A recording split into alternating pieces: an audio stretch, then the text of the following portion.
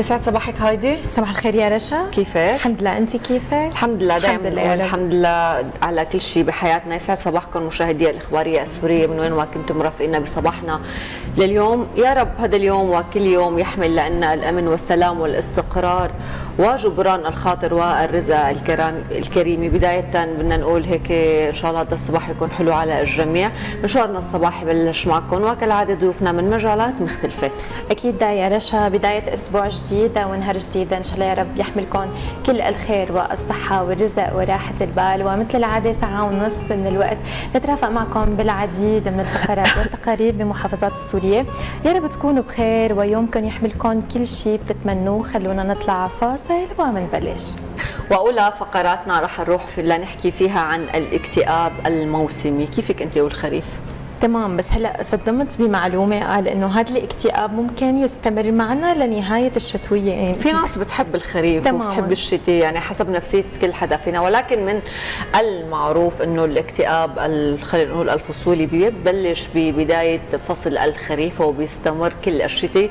لأن بلش الربيع بنفسية وطاقة إيجابية جميلة. ما بعرف هو أنا بقول حسب كل نفسية كل شخص فينا. تمام يا رشا يمكن بهي الفترة تحديدا بتلاقي كثير من الأشخاص اشخاص قاعدين زعلانين مزعوجين آه، مكتئبين ما بيعرفوا شو السبب. السبب هون الموضوع اللي رح نحكي عنه اليوم ما يسمى بالاكتئاب الموسمي اللي ممكن يأثر بشكل كثير كبير على الشخص وعلى حياته العملية. أكيد تفاصيل كثير مهمة رح يخبرنا عنهم. ضيفنا اللي صار معنا ضمن الاستوديو الدكتور سمير هادي صباح الخير. يا صباح الخير والورد الياسمين. يسعد صباحك دكتور سمير واهلا وسهلا بحضرتك. عم نحكي عن الاكتئاب الاكتئاب الموسمي واليوم في ناس كثير بتعاني من هي القصة وفي ناس هي بتحسها إنه هي طاقه أنا أعطيت هي الطاقة لشخص ثاني لحتى يشعر فيها قد ما بنق القصة يعني. فخلينا نتعرف من خلالك عن هاي الفكرة. بالبداية خلينا نعرف شو يعني اكتئاب موسمي. هي حالة مزاجية معينة ممكن تكون أو تستمر مع الشخص إما خلال فترة الشتاء أو خلال فترة الصيف. هي الفكرة بتبدل الأجواء تغيير بروتين الحياة تغيير بالنظام الحياتي بشكل عام. وممكن يكون أحد الأسباب هو تغييرات هرمونية مثل هرمون السيروتونين اللي هو مسؤول عن السعادة.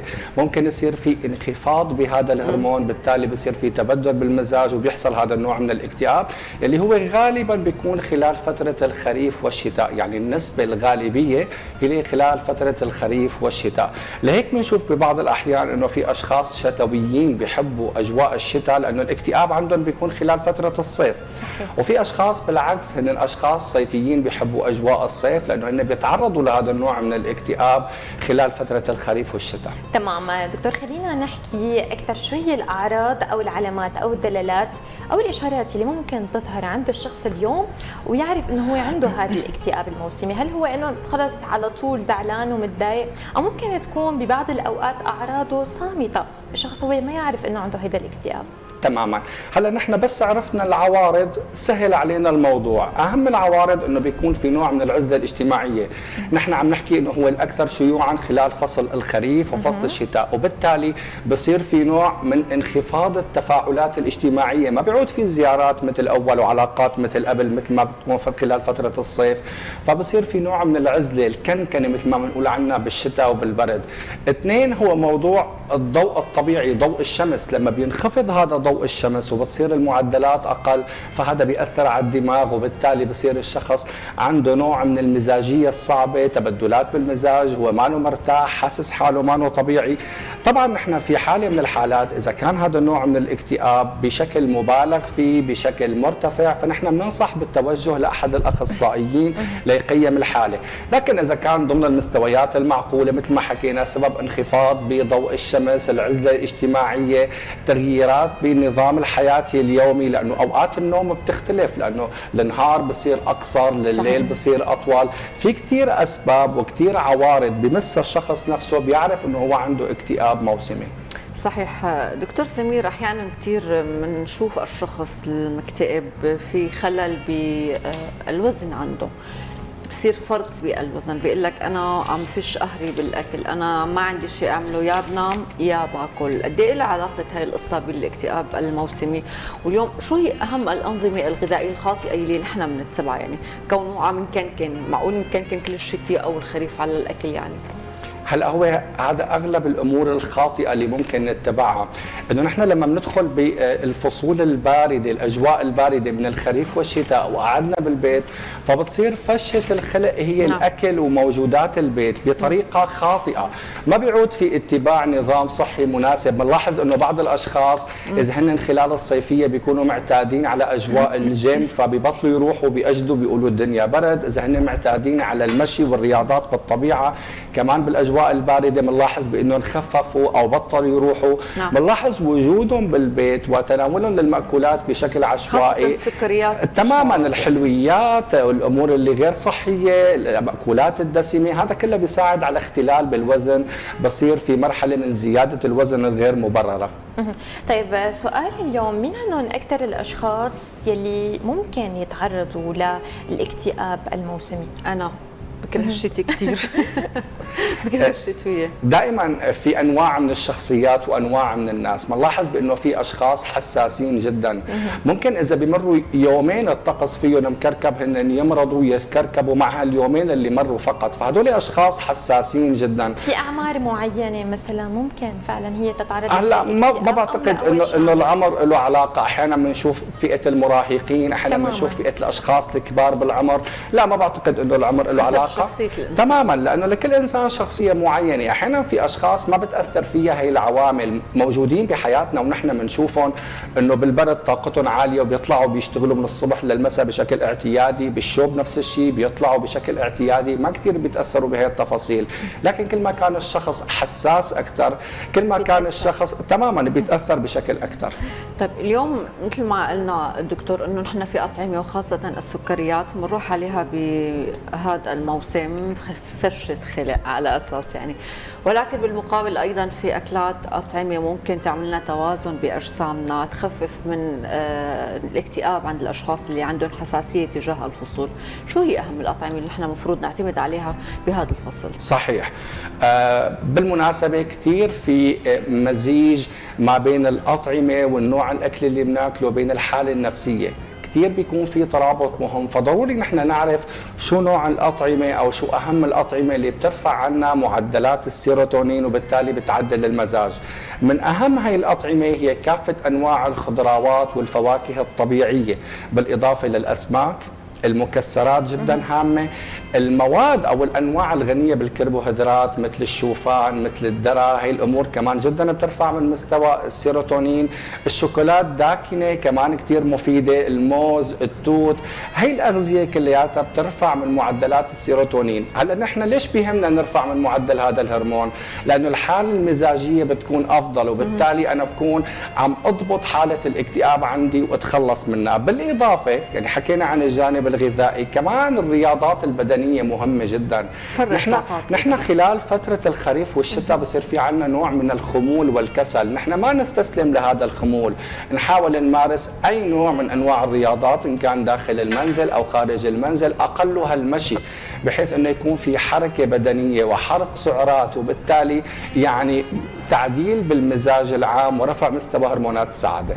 اليوم يمكن في كثير أشخاص مصابين بهيدا الاكتئاب نسبة كبيرة ولكن ما بيعرفوا إنه هن فعلا مصابين بهذا الاكتئاب، كيف ممكن نشخص هذا الاكتئاب اليوم؟ اليوم فينا نشخصه عن طريق عدة عوارض. لما بيكون هذا الشخص حالته الطبيعية كل العام لكن لما بتمرق هاي الفترة فترة الدخول بمراحل الخريف ببلش يحس بمزاج متقلب غير مبرر. نحن دائما لازم نفرق ما بين لما يتقلب مزاجي بسبب مشكلة معينة أو لما بصير في تغيير مزاج بدون أي سبب. فقط أنا مالي مرتاح فقط حاسس حالي معكر. بالإضافة لبعض الخطوات اللي حكينا عنها قبل شوي الميول للعزلة الميول للابتعاد عن الناس الكنكنة. هو ما عم يتعرض للطاقة الكافية من نور الشمس. هي التفاصيل كلياتها بتعطينا انطباع كافي إنه هذا الشخص عنده نوع من الاكتئاب الموسمي. وبرجع بذكر هون عم نحكي عن الحالة الطبيعية الاعتيادية اللي أغلب الناس عندهم إياها. لكن إذا كان لا الموضوع في مبالغة. يعني الشخص خلص قاعد بالبيت ما بده يشوف حدا ما بده يروح ما بده يشتغل عطل حياته بالكامل. لا هون نحن عم نحكي عن نوع آخر عن نوع يعني آخر من الاكتئاب ويجب عليه استشارة مختص. طيب اليوم هدول الأشخاص الاشخاص اللي هن أكثر عرضة لهذا الاكتئاب وعندهم درجة حساسية خلينا نقول زايدة جدا. وممكن يلجأوا للأطباء الطبيب النفسي هل اليوم ممكن يكون الأدوية هي علاج لهذا الاكتئاب؟ هلا الأدوية هي دائما آخر حل؟ وبالمناسبة موضوع الاكتئاب اليوم أغلب الناس بتفكر أي تقلب بالمزاج فمعناها اكتئاب. لا ممكن يكون في مشاكل ثانية نفسية غير الاكتئاب. هي بتتشابه تماما بتتشابه أعراضها يعني مثلا مثل اضطراب الشخصية الحدية مثل نوع من أنواع الوسواس القهري حتى الاكتئاب في اكتئاب مزمن اكتئاب حاد اكتئاب بيكون ببدايته. ففي كثير من النقاط يلي بيجهلها أغلب الناس. الناس بتعتقد فقط أنه أنا خلص ماني مبسوط معناها أنا عندي اكتئاب. لهيك نحن بنقول يلي يلجأ للمختص المختص بيعرف كثير منيح يقيم الحالة يعرف شو اللي عم يصير مع الشخص. مثل ما حكينا اللجوء للأدوية هو آخر بس شيء. في كثير أطباء بيعطوا الادويه أول, أول حل يعني. هلأ ممكن حسب رأي الطبيب حسب بالنهاية وحسب تقييم الحالة مثل ما حكينا. لكن نحن دائما بننصح بإنه نبلش بالأمور الطبيعية ننصح بالرياضة. مثل ما كنا عم نحكي قبل شوي الاغذيه الطبيعية تقرب من الطبيعة تغيير روتين الحياة. يعني مثلا لازم يكون في ساعات من النوم كافية ليلا شرب كميات منيحة من المي الابتعاد عن الأشخاص السلبيين بمحيطنا. هي التفاصيل كلياتها بتساعدنا من التخلص من الاكتئاب. لكن إذا كان بمراحل متقدمة وقتها ممكن المختص يلجأ للدواء. بلقاءاتنا السابقة معك كنا نحكي عن الطاقة السلبية وقد إيه هي اليوم ممكن تنتشر على الأشخاص اللي حوالين الشخص وممكن تأثر بشكل كثير كبير وتعديهم اليوم. بنفس القصة اليوم نحن عم نحكي عن الاكتئاب الموسمي. اليوم قد إيه ممكن ينتشر وينتقل من شخص للثاني إن كان ضمن البيت أو ضمن الرف أو أي شيء ممكن يعدي الأشخاص وينشر فعلا طاقة سلبية بالمكان. بالضبط لأنه بالنهاية جسم الإنسان هو مثل الإسفنج. يمتص الطاقات المحيطة. لهيك بنشوف إنه الشخص الإيجابي لما بيكون بمكان بينشر الإيجابية والشخص تمام. السلبي ممكن يدخل لمكان مو عاجبه شيء بالحياة فممكن ينقل هي العدوى وهذا اللي عم نحكي عنه نحن. لما بيكون الشخص مكتئب خلص في عنده يأس في عنده أحباط فممكن تواجده بين أشخاص ضمن عيلته فرضا أسرته أو أصدقائه ممكن ينقل هي العدوى. لهيك دائما نحن بننصح إنه ما نأخذ بكلام هدول الناس السلبيين ما نحط هذا الكلام ببالنا ونتأثر فيه. نحاول نحن ناثر فيهم بإيجابيتنا بتفاؤلنا بطريقة تفكيرنا وطريقة تعاملنا مع الأمور. اليوم أبسط حل خلينا نقول للتخلص من الأمور السلبية والأشخاص السلبيين الموجودين بمحيطنا إنه نحن نحط حالنا خارج المشكلة نفسها ونفكر بعقلانية وحكمة وهدوء نتروى ناخذ وقتنا وننظر للموضوع من الخارج. بالتالي هذا بيسهل علينا نخلصه من الحالة اللي هو فيها نقدم له النصيحة المناسبة وما نتأثر بالطاقة السلبية اللي هو عم يتمتع فيها. أصلا في ناس كثير ما بيعني لها فصل الخريف ولا فصل الشتاء يعني مرور الكرام. ولكن قد ما صحيح. وبتبلش البوستات تبع رجع أيلول وورق الأصفر. بتحس إنه أنت لازم تروح بهي الموجة وتعرف ليش الورق الأصفر وبتحس بخريف عمرك تماما. العقل الباطن له دور كبير يستجيب. ولكن اليوم الأهل وقت أحد الأشخاص الأبوين بيكون عنده هي الحالة لها تأثير جدا سلبي على صحيح. الأطفال في البيت. الأطفال اليوم يمكن يمرقوا بهي القصة ونحن ما ننتبه يعني. اليوم شو تاثيرها السلبي على آه، الأطفال بالبيت. هلا إذا كان الشخص مثل ما تفضلتي وحكيتي رب الأسرة هو اللي عم يعاني من هذا الموضوع هو لازم يتخذ النصائح اللي حكينا فيها حتى ما تستمر معه هي الحالة طول فترة الخريف والشتاء. نحن بيهمنا ما يستمر بفترة الاكتئاب الموسمي أربع شهور وخمس شهور ويضل هو ما مرتاح ولا له مريح الأشخاص المحيطين فيه كعائلة وأسرة واصدقائه بالعمل لأنه مو بس ببيته حتى ممكن بعمله ياثر على الآخرين. بصيروا هدول الأطفال يتعودوا إنه نحن لازم نكتئب بكل المواسم يعني هلا ممكن ممكن الطفل كثير يتأثر من والديه. آه، لكن كثير مهم يكون في وعي عند الوالدين وما يزرع بعقل الطفل هذا الموضوع. صح. لا يخرجه برات المنزل يخليه قريب من الطبيعة مثل ما حكينا يخليه ياكل الأمور اللي مثل ما حكينا بتفيده صحيا بترفع من مستوى هرمونات السعادة. يعطل عنده أي شيء له علاقة بالفراغ. م. الفراغ ممكن يكون مساعد كمان لموضوع الاكتئاب. فيعطل من أمور الفراغ دائما يكون يومه معبى النوم ليلا كثير مهم النوم ليلا يكون كافي. هي الأمور كلياتها بتكون جيدة وبتخلي هذا الطفل ما يدخل بمعمعة التغيرات الفصلية نعم. والاكتئاب الموسمي.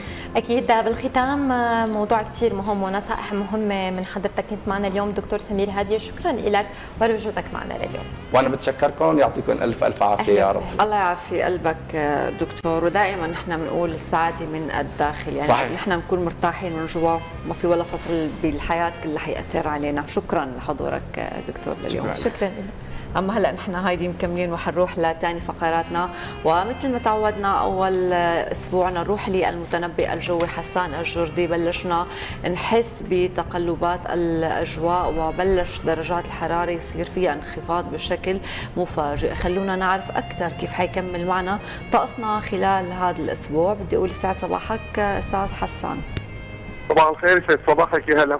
يسعد صباحك أستاذ حسان صباح الخيرات يسعد صباحك. أستاذ خبرنا كيف عم تكون أحوال الطقس ودرجات الحرارة بمحافظاتنا السورية خصوصا إنه بهي الفترة عم نلاحظ في انخفاض كبير بدرجات الحرارة.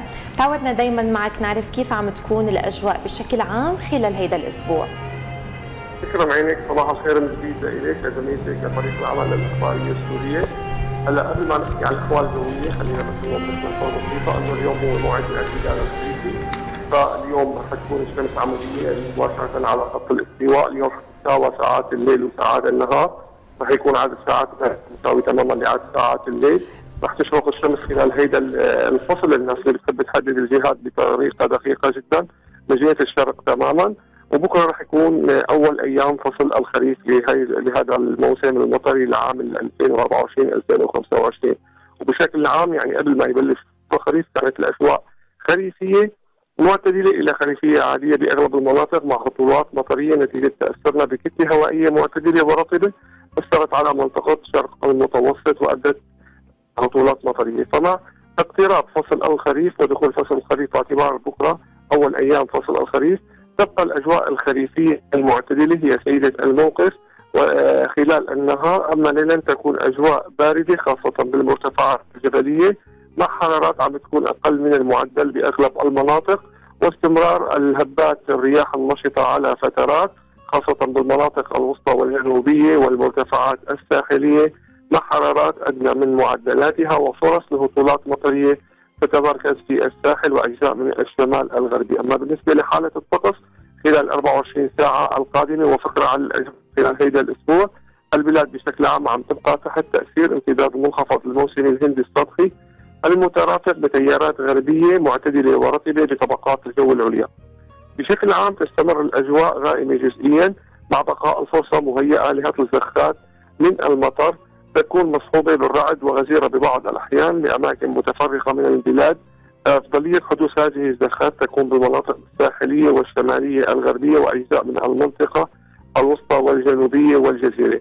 كما تبقى درجات الحرارة أدنى من معدلاتها لمثل هذه الفترة من السنة بنحو 2 إلى 5 درجات مئوية لليوم والنهار بكرة.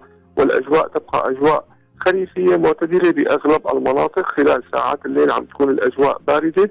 خاصة بالمرتفعات الجبلية مع نسبة رطوبة عالية بالأجزاء الغربية من البلاد واحتمال تشكل ضباب خلال ساعات الصباح الباكر بالمنطقة الوسطى والقلمون وأجزاء من المنطقة الشمالية. الرياح غربية إلى جنوبية غربية بين الخفيفة والمعتدلة مع هبات عم تتجاوز سرعة الهبات في بعض الأحيان ال 55 كم بالساعة خاصة بالمناطق الوسطى والجنوبية والمرتفعات الساحلية تسير الغبار بالمناطق الداخلية وتكون الأجواء سليمية بكبرها في المناطق الشرقية والبادية أما البحر عم يكون خفيف إلى متوسط ارتفاع الموج. يمكن يتجاوز ارتفاع الموج ببعض الأحيان الواحد متر. هذه الأجواء تستمر معنا لليوم وللنهار. بكرة وفرصة الهطول المطري بتكون موجودة بالساحل والشمال الغربي وأجزاء من المنطقة الوسطى والجنوبية. وتكون الهطولات نوعا ما غزيرة ببعض الأحيان ومترافقة بالعواصف الرعدية. هذه الحالة عدم الاستقرار والأجواء خلينا نسميها الأجواء المعتدلة الغير المستقرة تستمر معنا. حتى منتصف هذا الأسبوع تضعف فرص الهطول اعتبارا من يوم الاثنين وبتبلش الحرارة تميل للارتفاع بشكل طفيف. تستقر الأجواء أيام الثلاثاء والأربعاء والخميس وتبدأ الحرارة بالارتفاع بشكل تدريجي لتسرع نهاية هذا الأسبوع على من معدلاتها بقليل بأغلب المناطق والمدن وربما تكون بالمناطق الشرقية والجزيرة والبادية أعلى من المعدل بنحو 2 إلى 3 درجات مئوية. وأجواء خريفية معتدله إلى أجواء خريفية عادية تصبح نهاية الأسبوع أجواء حارة نسبيا بأغلب المناطق تقريبا.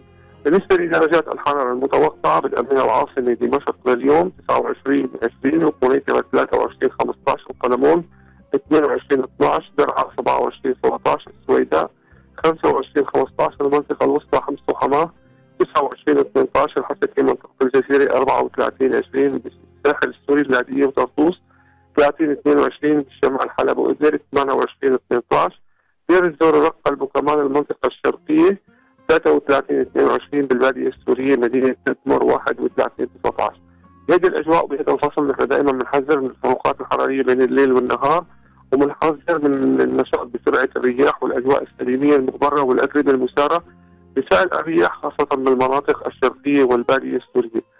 الاجواء الخريفيه هي سيدة الموقف خلال هذا الأسبوع مع استمرار فرص الهطول المطري حتى يوم الاثنين منتصف هذا الأسبوع وأجواء مستقرة حتى نهايته تصبح حارة نسبيا بشكل خاص تكون الأجواء حارة نسبيا بالمناطق الشرقية والجزيرة والبادية علما أن الهطولات المطريه كانت متميزة خلال اليومين الماضيين وكانت أكبر كمية هطول في محافظة اللاذقيه يوم امبارح بلغت كميتها بمدينه كسر 80 ملم. شكرا أستاذ حسان الجردي لكل المعلومات اللي ذكرتها وإن شاء الله دائما نقول بردا وسلاما على سوريا الحبيبة ويكون هذا الطقس خفيف علينا. ومن الأجواء الطقس حنروح للأجواء القانونية وحنضوي ضمن مساحتنا القانونية عن موضوع الشيك وعن موضوع سند الأمان. اليوم عم نحكي عن أوراق الناس عم تضمن حقها من خلالها. ولكن إلى طريقة قانونية معينة. وفي فروقات اليوم لنقدر الشخص يحصل حقه من الطرف الآخر. اليوم كيف نظر القانون يا هايدي للاجرائين صحيح يا رشا اليوم بتلاقي كثير من الأشخاص عم يوقعوا بأخطاء كثير كبيرة نتيجة يمكن عدم الوعي القانوني بالموضوع. واليوم نحن رح نضوي على موضوع جديد مشاهدينا عن سند الأمانة أو الشيك. لما نقول سند أمانة وصل أو وثيقة ممكن تضمن بشكل كثير كبير حقوق الناس وتحفظها. شو الأشياء اللي لازم تكون موجودة ضمن هيدا السند؟ وشو في تفاصيل أكيد رح نتعرف عليها مع ضيفنا اللي صار معنا ضمن الاستوديو المحامي لؤي الموحد. صباح الخير. أهلا وسهلا أستاذ. صباح الخير صباح الأمل بالبدايات والانطلاقات الجميلة. أمين يا رب. أهلا وسهلا أستاذ لؤي. ودائما الأمل والبدايات الجميلة بتكون وقت نحن قادرين نحفظ حق بحياتنا. يعني واليوم القانون دائما نحن بنقول وضع لحماية المواطنين. ما بين الشيك وسند الامانه اليوم في فروقات ولكن خلينا بداية نتعرف من حضرتك. شو هي سندات الامانه شو مفهومها وشو أنواعها؟ تمام. آه لا آه مو أنواع السندات نحن أنواع السندات تجارية بشكل عام. نعم. وسند الامانه سند واحد. سندات تجارية بشكل عام قد تكون عندنا سند سحب أو سند أمر أو يكون عندنا سند الامانه أو آه الشيك. هلا الاختلاف بينهم إنه اليوم سند السحب بيكون بين التجار وبيكون آه، يعني بتوجيه من التاجر لشخص بإنه يسلم المبلغ لشخص آخر. فهذا هو بشكل عام بتكون مسؤوليته مدنية مو جزائية. نعم. بيطالب فيه لهذا السند عن طريق دائرة التنفيذ. في عنا السند الامانه هو بيكون بين طرفين. نعم. آه مسؤولية فيه جزائية سند الأمانة هو بيكون غالبا بالواقع. العملي هو عبارة عن دين لشخص ولكن مه. بالقانون نعم. هو أنه أودع مال لدى شخص آخر فبيكتب وبيتعهد بهذا الموضوع. ممكن نطالب فيه أمام محاكم مدنية أو جزائية أو دائره التنفيذ، الشيك هو الشخص آه يعني كتب وتعهد وحرر بهذا السند بأنه بيملك مبلغ معين ضمن البنك فاعطاه لشخص آخر. وفي عندنا الطرف الثالث ضمن الشيك وهو المسحوب عليه هو البنك. وبالتالي كمان هون نحن بتكون عندنا مسؤولية جزائية في حال عدم وجود رصيد. طيب آه، خلينا نخبر المشاهدين أكثر آه، شو هو أكثر نوع من السند الأكثر شيوع والأكثر استخدام بين الناس؟ خبرنا أكثر. الأكثر شيوعا دائما هو سند الامانه يعني آه، وحالات كثيرة جدا هي سند الامانه السندات الأخرى وسندات الشيك بدون رصيد هي حالات قليلة. فسند الامانه دائما هو الأكثر شيوعا بيكون ولكن اليوم يعني أستاذ لؤي عم تقول إنه سند الامانه هو الأضمن للشخص. هو هو من ناحية أضمن من غير ناحية غير أضمن يعني ولكن يختلف. اليوم الشائع بين الناس وقت بتقول لفلان إنه أنا عندي سندات امانه لشخص ما بيقول لك آه، ما في نفع منها أو حتروح محاكم آه، طويلة أو بجوز ما يكون معه يدفع لك بيقولوا دائما هذا الشائع بين الناس إنه الورقة البيضاء اللي عليها بصمة الشخص هي أقوى من سند الامانه قانونيا شو رأيك؟ آه بالبداية آه لا اختلاف بين الورقة البيضاء وسند الأمانة. الاختلاف الوحيد هو المبلغ. فهي أنا اليوم لما بوقع على ورقة بيضاء طبعا في كمان شائعات إنه وقع على ورقة بيضاء وما رح يطلع من قسط من امره شيء. لا لا. أنا وقت وقع على ورقة بيضاء اللي هي بمعنى إنه سند أمانة فارغ من القيمة. وفارغ من العنوان المختار. بالتالي أنا موافق بالبصمة والتوقيع. على أي شيء ممكن على أي شيء ممكن ينذكر فممكن أنا يكون بيني وبين الأستاذة مثلا 5 مليون هو يحط إنه المبلغ 200 مليون.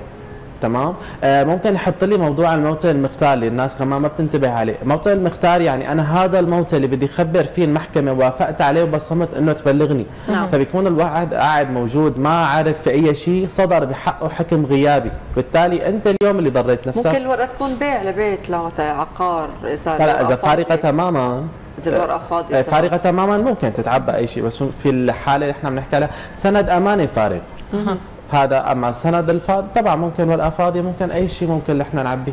تمام, تمام ممكن نشهد هي الأمور. خلينا نحكي أستاذ لؤي عن طرق الإثبات بالنسبة للمستفيد من سند الامانه شو هي الطرق؟ خبرنا أكثر. تماما. هلأ بالبداية بيكون في شهود على سند الامانه ولكن مو دائما الشهود هي بتفيد. ليش؟ في عندنا حالتين إحنا أما فينا نروح على القضاء الجزاء على نمشي بالطريق الجزائي أو بالطريق المدني. طيب. الطريق الجزائي بتلجأ له الناس لأنه في عقوبة الحبس بالتالي هو يعني آه، قوة أكثر ولكن إذا كان موضوع سند الأمانة هو دين حقا هو دين أو تعاملات تجارية ما فيني أنا أروح على الموضوع الجزائي، أنا حصرا القانون بخليني أروح على القضاء المدني وأنا أطالب بمبلغ دين فقط دون أي عقوبة الحبس. فبالتالي إذا نحن آه، كان في شهود والقاضي طلب الشهود والشهود شهدوا وقالوا إنه الموضوع هو عبارة عن دين مو عبارة عن مبلغ انحط عند هذا الشخص لفترة معينة بده يرجع له إياه أمانة. فنحن رحنا أمام القضاء المدني. نعم. أما إذا كان الموضوع حقا هو أمانة وحقا إجوا الشهود شهدوا بهذا الأمر فنحن أمام القضاء الجزائي. طبعا يعرض للعقوبه هلا رحنا للقضاء الجزائي بدنا نثبت هذا الموضوع. كافي إنه نحن نقدم السلام بالقضاء الجزائي بتوجه له آه إنذار. بعد الإنذار آه، مدة مثلا بتكون من ثلاث أيام ل 10 أيام غالبا هي ثلاث أيام بالواقع. آه، إنه سدد هذا المبلغ على الموطن المختار المذكور بالسند بيجي. ما سداد بعدها نحن بنقدم ادعاء بيتم تحريك الدعوة وبيتم مطالبته بالقضاء الجزائي بمحكمة البدايج محكمه البدايج الجزائية. طيب أستاذ لؤي هذا إجراءات خلينا نقول قانونية يعني أي حدا عنده شخص آه، سند أمانة ضد شخص آخر بيروح بالخطوات اللي حكيتها وبيتم التعامل قضائيا بالشيء اللي حكيته ولكن وقت اللي بيكون في شيك. هل اليوم في فروقات؟ هل المحكمة تتغير؟ هل إجراءات التقديم عن هذا الشريك يعني ممكن تتغير؟ شو هي الإجراءات القانونية اللي نطالب فيها نحن بهذا الشريك؟ هلا آه، إجراءات المطالبة وإثبات حالة الشيك هي أقوى بكثير من إثبات حالة سند الأمانة. يعني مم. سند الأمانة ممكن نحن إذا طالبنا فيه أمام دائرة التنفيذ وفي حال الشخص حضر أمام دائرة التنفيذ وقال أنا سددت المبلغ أو ما في فبالتالي نحن لجأنا للقضاء وصلنا بموضوع أطول. ولكن الشيك يحمل قوة أكبر بأنه يكفي إشعار من البنك بعدم وجود مؤونة كافية أو غير موجودة يعني بعدم وجود رصيد أو ما في رصيد كافي. يمكن هون عقوبته كثير أكبر يعني تماما. وجود رصيد. تمام عقوبة أكبر وبالتالي آه الإثبات وعبء الإثبات آه يعني هي نقول بصير الشيك اللي نحن أخذينه من البنك أو الورقة اللي مبينة إنه ما في رصيد هي كاشفة للجريمة. فما عاد في داعي نحن نفوت بموضوع الإثبات والشهود كافي بهذا. بنروح عن النيابة العامة، النيابة العامة بعدين بنحرك آه، ادعاء. بنروح أمام قاضي التحقيق، قاضي التحقيق بيفصل فيها بتروح على بداية الجزاء، فنحن صرنا هون أمام قوة أكبر إذا صح التعبير للسند. وإجراءات أسهل. تماما تمام يعني اليوم نحن حابين نستغل وجودك أكثر ونجاوب على كثير من تساؤلات فضل. اليوم المطروحة من الناس، التساؤل بيقول في حال تم توقيع الشيك ولم يسلمه للمستفيد وتم الحصول عليه من المستفيد بطريقة ما، هل هناك عقوبة على محرر الشيك؟ تماما. هلا آه، في بعض الناس وعن حسن نيه توقع بهي يعني بهذا الخطأ إنه هذا الشيء من حقي وأنا حصلت عليه. لا. هلا اولا ما تم أي عمل في حال تم توقيع الشيك ولم يسلم للشخص فبالتالي لم يقوم أي شيء ولا يوجد أي حق لك. هي عبارة عن ورقة لم تسلم. طيب آه في حال هلا بدنا نشوف نحن كيف حصل عليها. هلا قد يكون حصل عليها بالاتفاق مثلا مع أحد الأشخاص عن طريق النشر بالطريق. ممكن يكون حصل عليها بالقوة عن طريق مثلا خلع المكتب الموجود فيه دخل بالقوة هدد بالسلاح أخذ منه الشك فهون لما نشوف حسب الطريقة اللي حصل عليها بشيء أكيد مو بالتراضي لأنه هو بالأساس ما بده يسلم إياها. فحسب الطريقة نحن هون أمام جرم, جرم جزائي فحصل على شيء ما ما هو له بالأساس يعني. هو يظن أنه أنا هذا الشيك إلي كونه مكتوب عليه اسمي.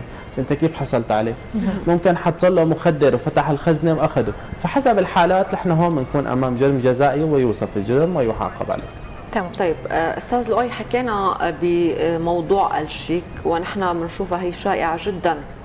بين الناس إنه سندات آه، شيك بدون رصيد أو بدون رصيد غير كافي بالبنك اليوم عم نحكي بين شخصين يعني مسألة على المستوى الشخصي ولكن إذا انتقلنا لموضوع المؤسسات التجارية هل يتم رفع الدعوة بنفس الطريقة الشخصية؟ هلا بالبداية بنرجع لأنه بدنا أول شيء إشعار بنكي نعم. إنه نحن ما في رصيد. هلا كان هو آه، إذا كانت شركة فلأي شركة عند الدولة موجود مدير فعلي. المدير الفعلي الموجود نحن آه بنحكي مع المدير الفعلي طبعا عفوا بنرفع المدير الفعلي نعم. ويعاقب المدير الفعلي للشركة الموجود لدى الدولة والموجود لدى السجلات يعاقب. وأيضا آه، بين الشركة والمدير هناك مسؤولية تضامنية تقع عليهم.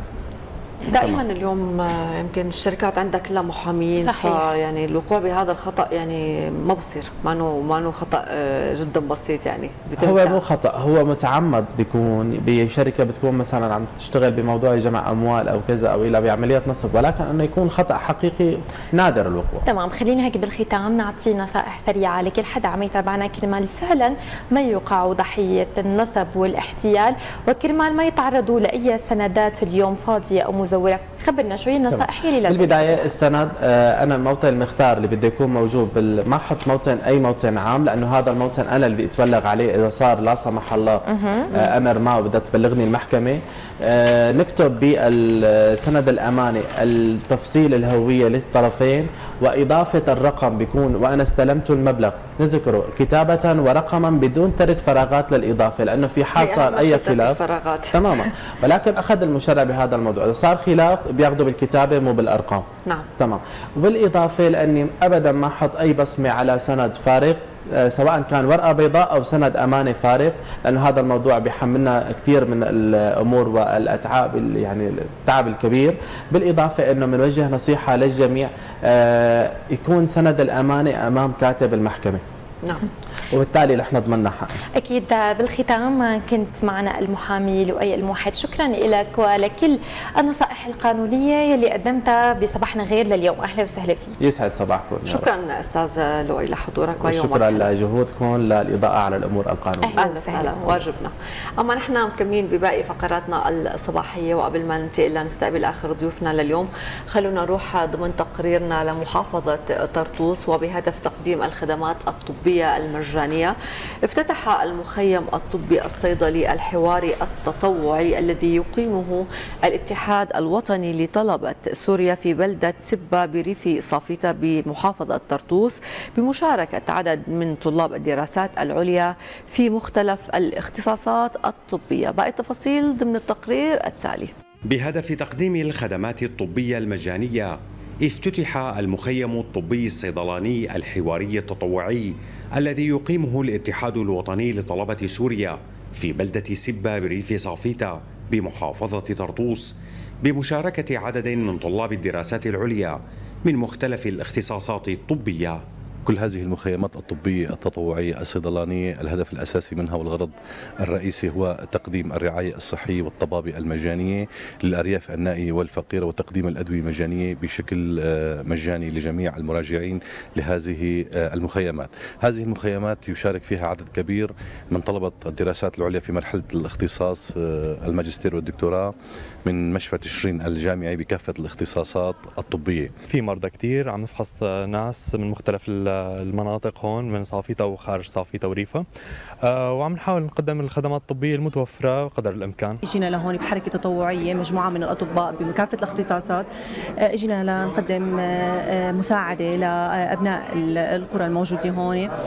من خلال الفحص من خلال تقديم أدوية. فكرة رائعة جدا لأن وفروا علينا وقت وفروا علينا مسافات وفروا علينا ثمن أدوية. مسؤولو المحافظة اطلعوا على أقسام وعيادات المخيم والخدمات الطبية المتنوعة المقدمة للأهالي. هذه المبادرة تخفف على أخوتنا المواطنين ولا سيما في المناطق البعيدة عن مراكز المدن. يقدم لهم خدمات طبية آه، وصحية مجانية بما فيه الدواء المجاني. طبعا هذه المبادرة للاتحاد الوطني لطلبة سوريا آه، تتم بالتنسيق مع كوادر المحافظة سواء كان مديرية الصحة ومحافظة طرطوس بشكل عام. أكيد هذه المبادرة آه، مهمة جدا ويجب أن نعمل على تكريس هذه المبادرات بشكل دوري وتكرارها على مدار السنة. المخيم الطبي يقدم الخدمات الطبية والعلاجية والأدوية بشكل مجاني لأهالي بلدة سبة والقرى المجاورة لها بهدف تخفيف الأعباء عن المواطنين في الأرياف البعيدة ولتكريس ثقافة العمل التطوعي في المجتمع. ويستمر لمدة أسبوع. محمد حسن الإخبارية السورية طرطوس.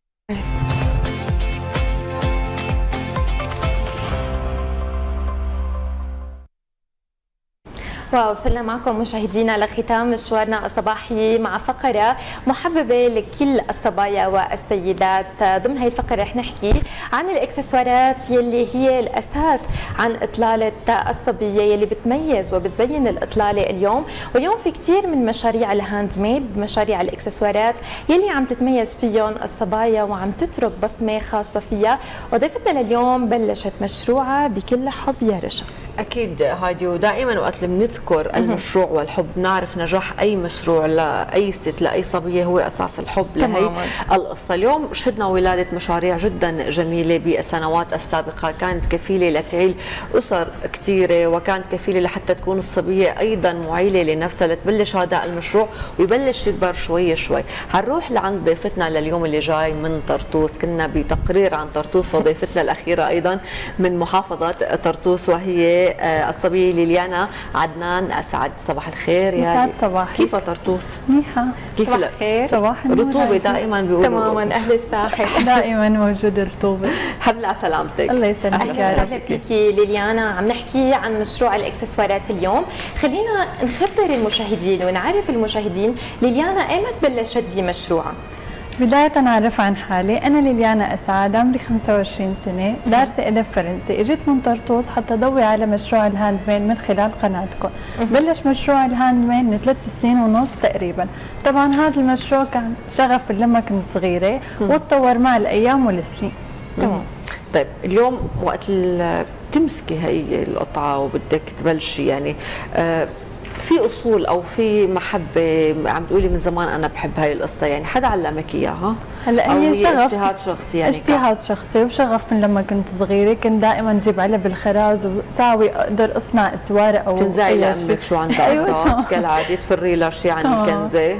أيوه بقدر أصنع إسوارة تطلع معي إنه في شيء إنه عم أصنعه لي أنا. تمام. اليوم يمكن كل صبية بتعتمد خط معين بالاكسسوارات اليوم ضمن مشروعك من وين ممكن تستوحي أفكارك أو شو هو النمط يلي بتتبعيه اليوم ضمن مشروعك؟ هلأ اليوم ال social media كثير بتعلمنا قصص وكثير بتخلينا نتطور. بخصوص مجال ال hand made دائما أنا بعتمد على الإكسسوار اللي بخص البولمير والكريستال اللي هو مستهلك بشكل يومي لحتى تقدر تلبسه الصبيه وتستعمله بالحياة العملية.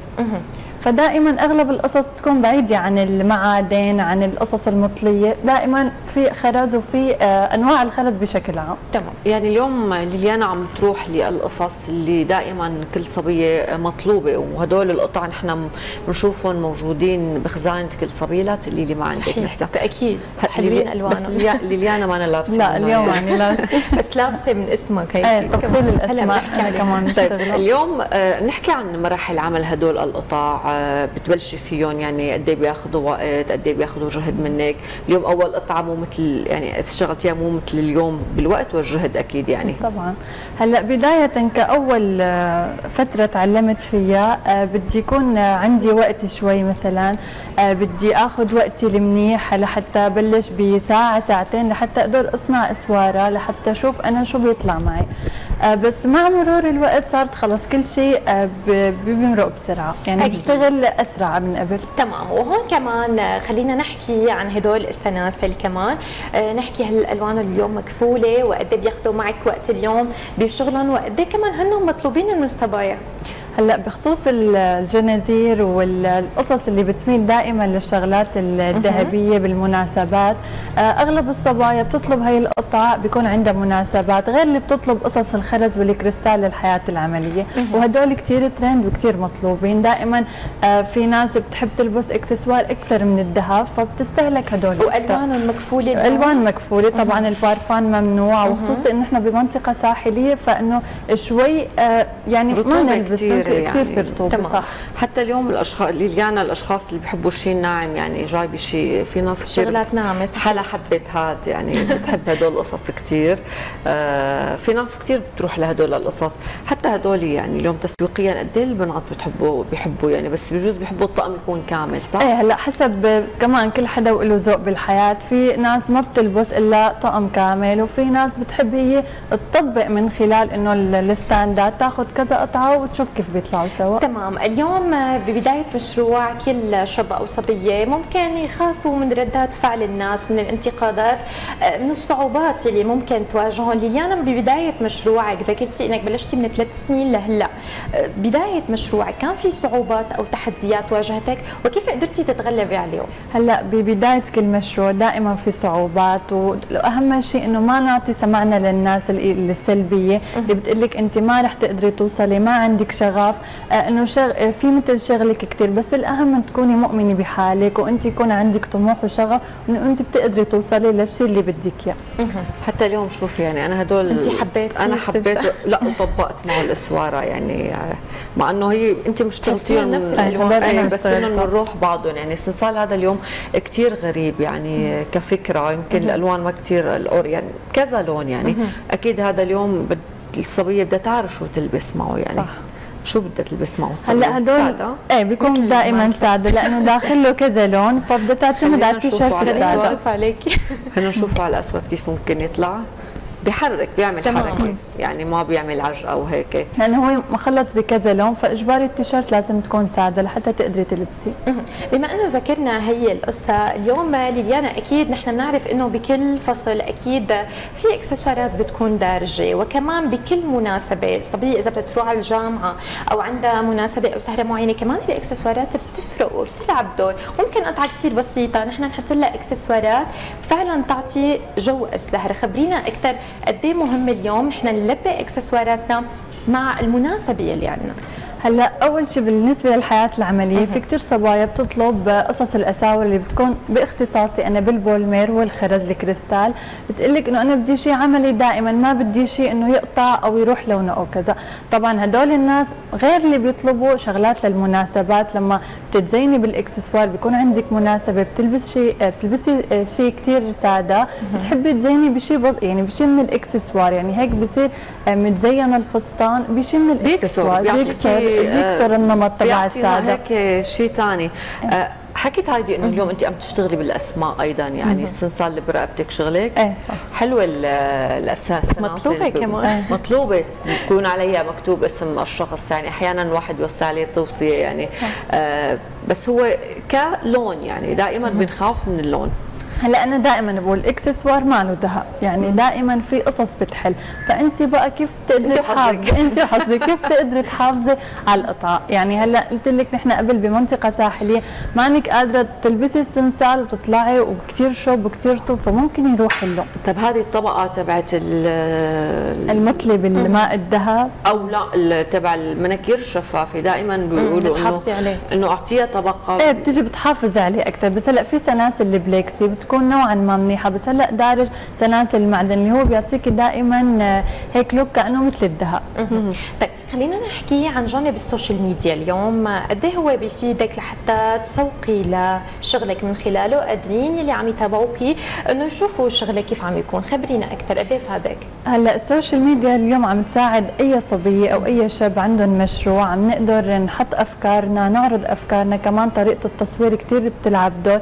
إنك أنت تقدري تصوري المخدة أو الستاندات بطريقة إنك تعرضي القطع بشكل أوضح. تعطيها حقها. مشان إذا بدها أي صبية ياهن على الواقع تعرف إنه هي الشيء نفسه تماما بالواقع. مم. كمان ال social media بتقدر تساعدنا للمشاريع ال hand made اللي مو اللي ما عندهم هلأ فكره إنهم يفتحوا محلات. كثير بتساعد وبتخلي الناس تعرفك أكثر طيب ليليانا آه، شاركتي بمعرض ببازار يعني أخذت آه، كنتي بزيارة لهيك قصص؟ إيه تقريبا حبيتي؟ إيه كثير حبيت. هلأ البازارات بتعطيني كثير خبرة أكثر بيكون في بنات مثل شغلي بتقدر تكسبي خبرة من صبية لصبية. بتعطيهم يمكن كمان انت تماما هن بياخذوا خبرة مني بكون قريبة من الصبية أكثر بتيجي بتشوف القطع على الواقع بتصير بتطبق أكثر على الواقع. مم. وهيك بتصير بتعرفي أكثر بالمجال يعني بتفوتي بالمجال لسه أكثر وكل مشروع اليوم يمكن هو رشا بحاجة لدعم ان كان.